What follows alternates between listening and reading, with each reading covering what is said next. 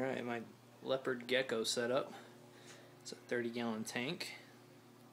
Got two dome lights going right now to keep this side hot. Uh, temps reading at 91.6 for the hot hide. I've got a second hot hide right there that one likes to go in. Mealworm dish with powder. A rock water dish homemade humidity hide. Uh, it looks kind of crappy, but they like it. These stairs, they usually poop in this corner, so they hide in there whenever they want. Some peat moss in there. All the crickets like to escape and hide in there as well. Here I got this cardboard right here to kind of cover up during the day so it's not so bright. It's the main hide. There's the big one.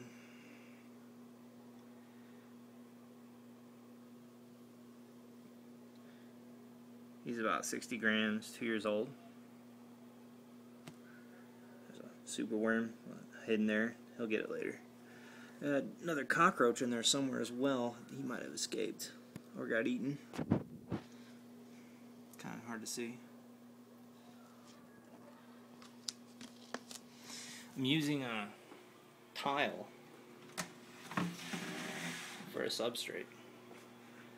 It's a nice little square tile right here. And it, it'll absorb heat and everything else. they kind of like it. Doesn't get too hot. Just over here in this area, it gets pretty warm, but they'll scamper off of it. Here's my other one in here. It's a little hot humidity hide. Oh, there she is. I've got a male and female together. Maybe they'll do something. Maybe they won't. I'll cover you back up. So the mealworm dish. I got this temperature gauge right here to measure the ambient temperature, but uh, I don't think it works very well. And that's basically it. Like I said, it's a 30 gallon tank. Got the nice little tile substrate. No, no chance of them ingesting any parts of it. Got it free from work. I've got two red lights. They're, they're used for the night and day. Uh, so it heats up this side of the tank. That way I make sure they're warm enough. And what's cool is about this little foam rock thing is they can get up there on top to sunbathe and they come back down if they get too hot. Or maybe go in their little hides whenever they want. Anyways, uh, they only really come out at night because they're nocturnal, but they're pretty cool.